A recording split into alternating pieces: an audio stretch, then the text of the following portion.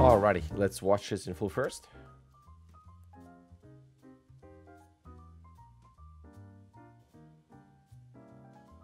okay, okay, hold on, hold on. What? Oh, that's funny. Uh, it looks like it's a bit of a, a slight change uh, from what we talked about in the planning. Let me just check your mail.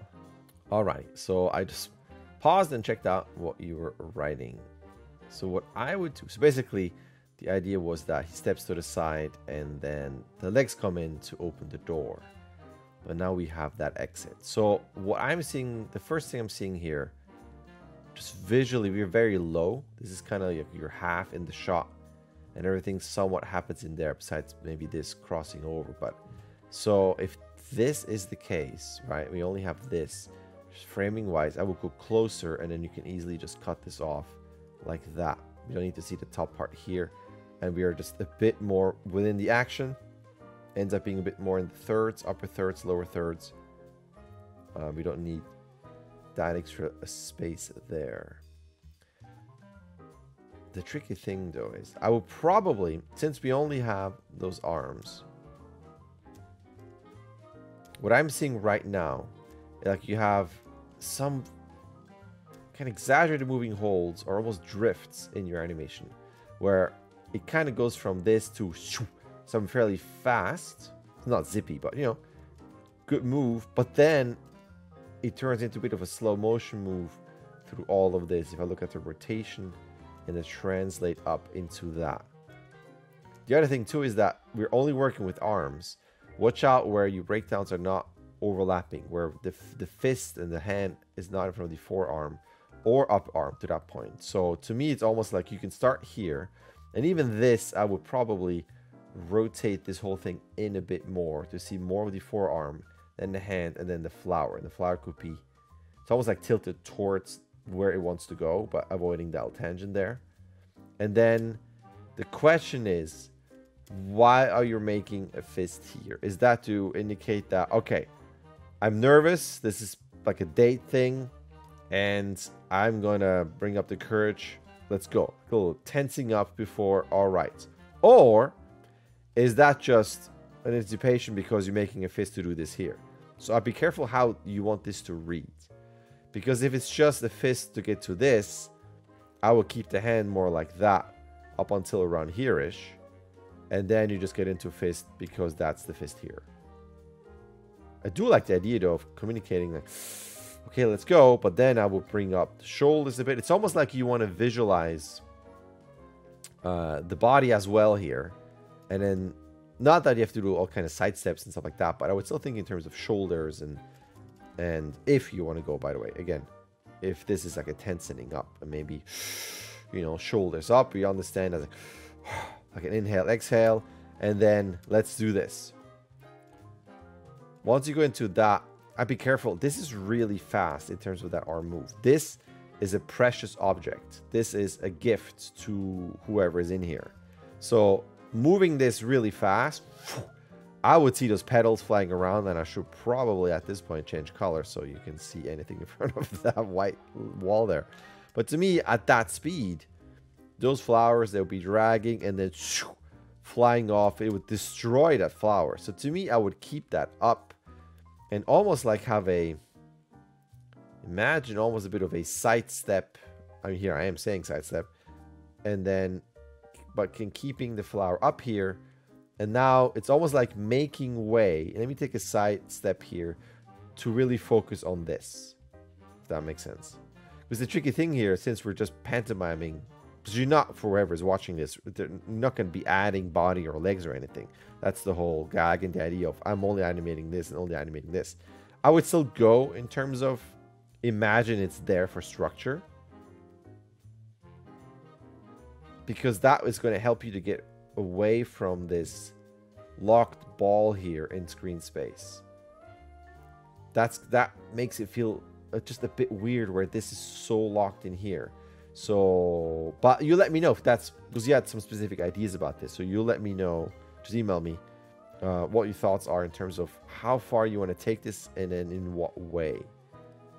Because again, I would bring in shoulder shrugs. I would add in a little bit of a sidestep, like a perceived, implied sidestep.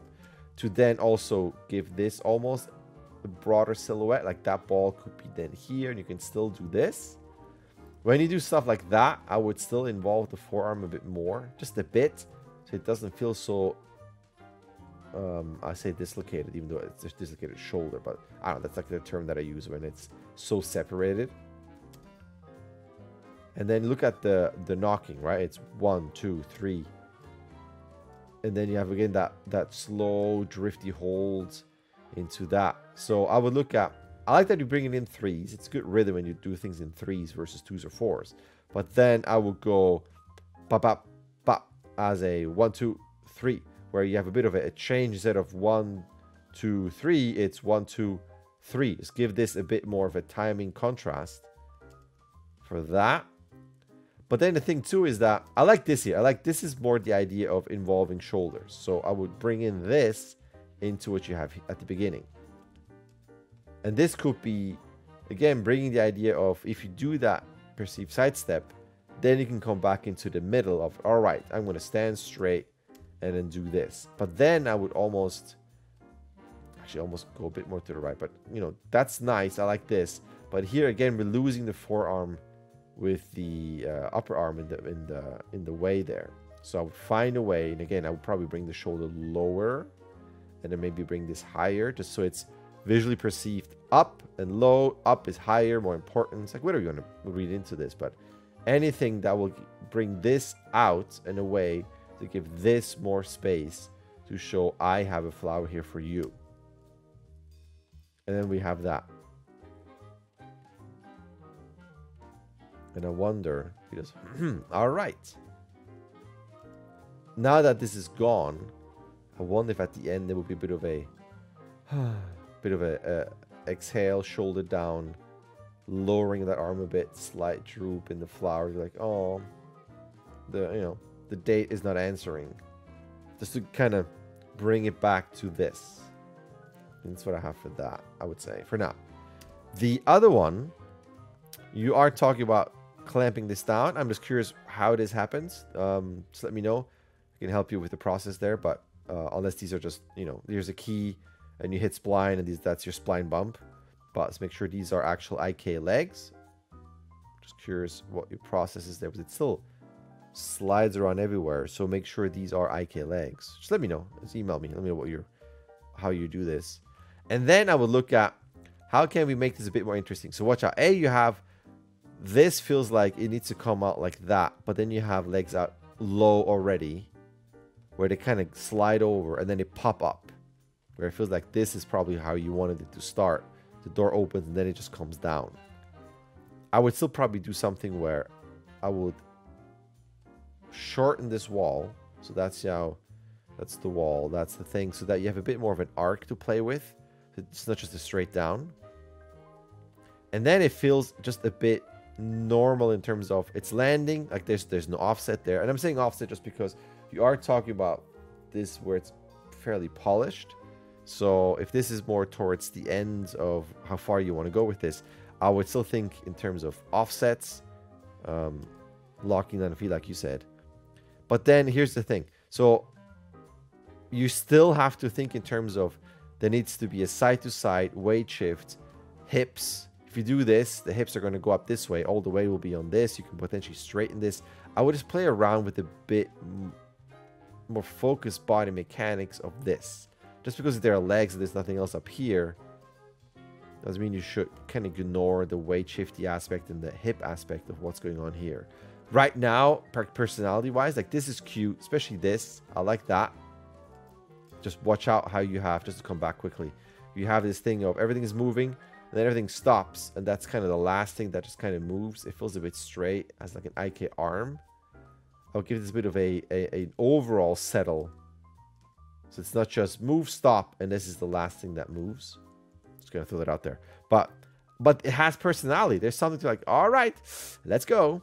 It's kind of cute. I think you can play around a bit with the with the jumpiness and the kind of like the bounciness of the shoulders. And again, imagine the character is there and gets on its tippy toes. Like, all right, it's gonna hop up, up and down. Just kind of, again, imagining visually what this character looks like. And then play around in your head, like how would this character move, and just try to showcase this all through this. But, or not but, but and do this for this character as well. This character doesn't have any personality. It's just kind of down, turn, and off. But is this character kind of really freaking out? Wants to avoid the date? Is it sliding and you know lots of scrambling in the legs and out? Is it jumping down and then tiptoeing off? I don't want it to hear that I'm that I'm escaping here. Like what is how far do you want to go with this in terms of personality and how we're supposed to perceive this here?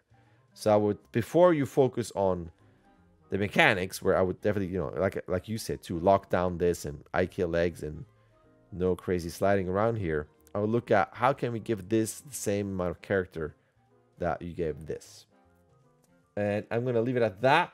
You got some other questions, but these are workshop questions, and I will reply to these in the email via text. All right, thank you. All right. There's an email. You can sign up. You can start whenever you want. You can submit whenever you want. You get 16 submissions. Either way, a like and subscribe would be awesome. All right. Thank you.